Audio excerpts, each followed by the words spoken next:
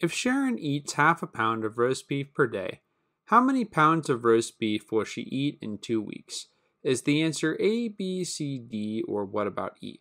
So now is your chance to pause the video, try to figure this question out, and whenever you're ready, we'll go over the answer. Okay, so basically for this question here, two weeks is equal to 14 days. So I'm just going to put a little d here instead of writing out days to save time. And this information right here where it says she eats half a pound of roast beef per day, okay, this is really the key to figuring this question out. Now half a pound, that is just equal to 0.5. So I'm going to write 0.5 here and I'm going to put a little p here for pounds. And we know that it's half a pound or 0.5 pounds per one day. So I'm going to put 1d down here. So if I do the math, if I do 14 times 0.5, okay, I'm going to get seven pounds. And so if you're confused about how exactly I knew uh, to do the calculation here, I just set it up so that the days are going to cancel out, right? We have 14 days divided by one day down here, and the days, the unit these are going to cancel out here. And when I do 14 times 0.5, I'm going to see that my answer is left in pounds. So if you ever have a question like this and you're not sure how to set up the calculation, all right, try to set it up like this so that you end up with an answer in pounds, all right? See how the D's cancel out here. Hopefully this makes sense. I'm going to show you the written solution. If you have trouble with this question, you can pause the video, take all the time you need to read this solution, and whenever you're ready, we'll go on to the next question. A soccer coach brings 20 sports drinks and 35 water bottles to a game for his team to drink. What is the ratio of sports drinks to water bottles in simplest form? Is the answer A, B, or what about C? So now is your chance to pause the video, try to figure this out, take all the time you need, and if you get stuck, don't worry because we're just going to go over the answer. Okay, so in this case here, we're asked the ratio of sports drinks to water bottles. So let me just put an S for sports drinks, and then let me put a W here for water bottles. And so right now, what we know is that there are 20 sports drinks so I'm going to put a 20 up here. And we have 35 water bottles. So I'm going to put 35 right here. Okay, so right now the ratio of sports drinks to water bottles, we have 20 over 35, but we want to simplify this down. And what hopefully you can see here is that we can divide both 20 and 35 by 5. So let's do that. If I divide 20 by 5, okay, what do I get? 20 divided by 5 is 4. And if I do 35 divided by 5,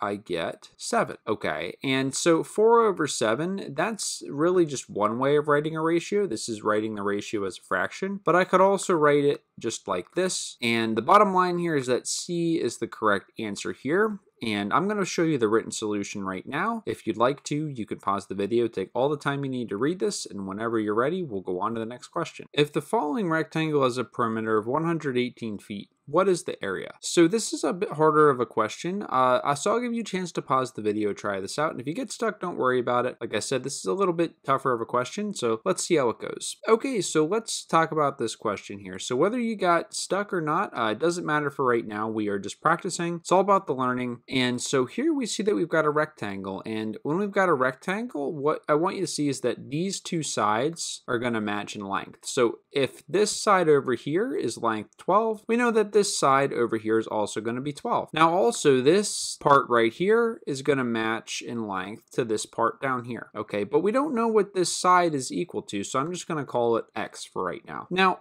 to calculate the perimeter, what we would do is we would add up all of the sides, all right? So we know that this side is 12, and we know that this side is 12, and we know, we don't know what this side is, so we would, I'm just gonna call it x, and we also don't know what this side right here is, so I'm just gonna call that x. And we know that this is all equal to 118. So what I can do here is I can use this formula here and do the math, and I'm gonna figure out what the missing side is. So that's my first step to this problem. So I'm just doing some simplification right here. We see 12 plus 12 is 24, x plus x is 2x. This is all equal to 118, okay? And so now what I want to do is I want to get this to this x by itself. So if I have 24 plus 2x, I can subtract 24 from both sides. Okay, so let's see what happens when I do that. So then I'm left with 2x equals 94. So if I have 2x, that's the same as 2 times x. And if I divide by 2 here, okay, I'm going to get rid of these 2's and just leave me alone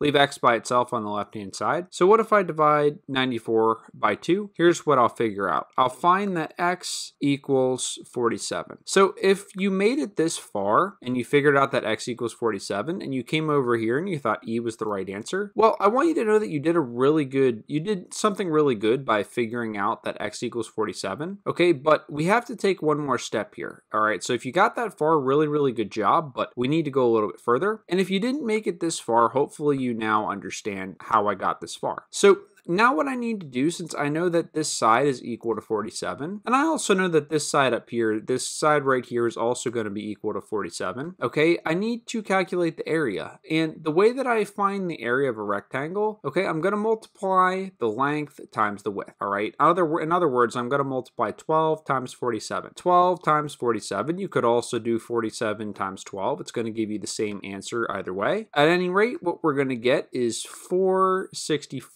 or sorry, I can't talk right, 564 as your answer, which is A. And so if you had trouble with this, I'm gonna give you a chance to pause the video and you can take all the time you need to study the written solution. And then when you're ready, we'll go on to the next question. Okay, so this question here, let me read this out in case it's hard to see on your screen. I have 6 raised to the power of 10 divided by 6 raised to the power of 4 times 6 raised to the power of 15 divided by 6 raised to the power of 10. And I'd like you to try to do this one without a calculator. Uh, using a calculator here actually actually probably won't be that helpful, but let's have you try to do this without a calculator. And if you just have no idea how to do this, don't worry because I'm just going to explain it. So I'll let you pause the video, give you a chance to try this out, and then we'll go over the answer. Okay, so basically there are two key exponent rules to know for this question here. Okay, whenever you have a situation like this, when you've got the same base, 6 to the 10 divided by 6 to the 4. These both have the same base. The 6 is the base, the 10 is the exponent. Whenever you have the situation, all right, all you have to do is subtract 10 and 4. So I can really rewrite this as 6 to the power of 6. The same with the 6 to the 15 over 6 to the 10. Both of these numbers have 6 as their base. What I can do is just do 15 minus 10, which is 5. So this original question, I can simplify this down to 6 to the power of 6 times 6 to the 5. Now, here's another rule to know. Whenever two numbers have the same base like this, we are